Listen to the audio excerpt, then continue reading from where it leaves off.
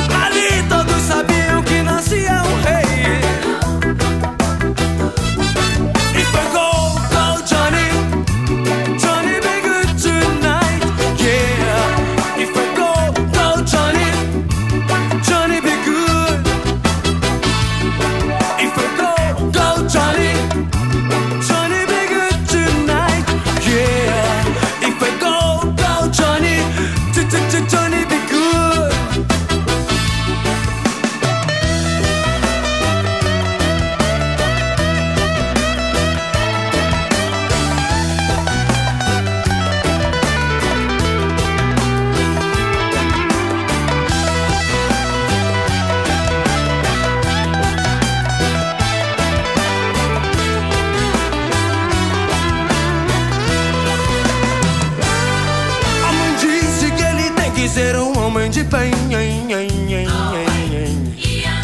E tocar com seus amigos numa reggae